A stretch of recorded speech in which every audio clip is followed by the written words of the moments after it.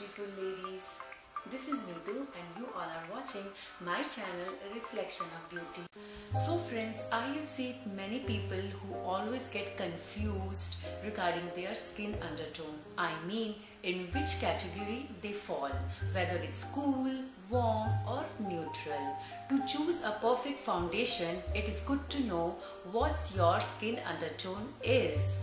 So, this time I thought to make a video on undertones. So guys, let's not waste the time and check it out our video on what's our undertone are. Human skin color can vary from almost translucent to almost black.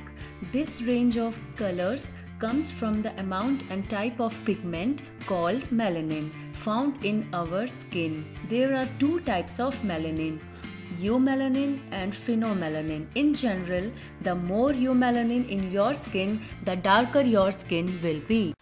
Before attempting any of the following steps, make sure your skin is clean and free of any makeup, lotion or toner. If you just washed your face, wait for 15 minutes before proceeding as your skin may appear pink from scrubbing and make it difficult to see your true undertone. Always use natural lighting when examining your skin. Different light bulbs can affect your skin differently. They may give it a yellow or green cast and it can interfere with appearance of your skin tone. There are several ways to determine what your skin undertone is. Start by looking at inside part of your arm. This area is naturally hidden from the sun and therefore it's not sun damage or discolor which is why skin in this area works best to reveal how cool, warm or neutral your skin undertone is.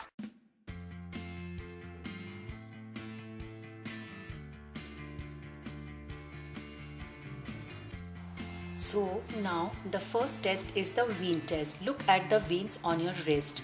If they are blue or purple, you are under cool tone. If they are green, if they are green like mine, you are under the warmer tone. And if you are in between blue, purple or, or green, you are under neutral skin tone.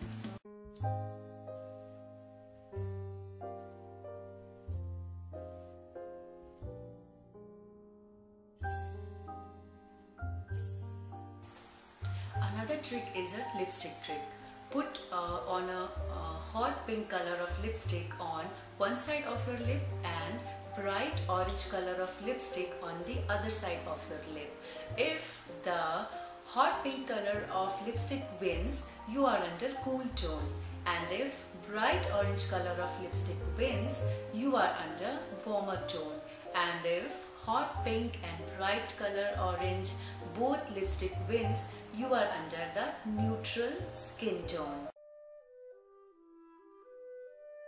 Consider how your skin normally react to the sun. Do you tan easily or do you burn or get freckles? The amount of melanin in your skin determines how it reacts to the sun exposure and it will also help in determining your skin undertone. If you tan easily and rarely burn, you have more melanin and you'd likely have warm or neutral skin. If your skin burn and doesn't tan, it means you have less melanin and therefore you come under cooler skin tone. Some women with dark and ebony skin may not burn easily but still they have cool skin tone trick is gold and silver test. Hold few gold jewelry or any kind of gold foil in front of your face so that it reflects light back on your skin. Note whether it's make your face look grayish or washed out or it enhance your skin. Then try with a sheet of silver foil or with an silver jewelry. If you don't notice a difference in both silver and gold jewelry, then you likely have a neutral skin tone. Now, how this undertone is going to help you in selecting your perfect foundation. Foundation is consist of three colors. It can be brown, white and the third one is your skin undertone. For warmer undertone person, always choose a foundation which have yellow and orange tint in it.